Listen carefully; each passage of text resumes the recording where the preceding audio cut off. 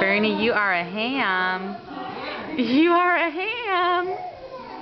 You don't care who's videotaping you.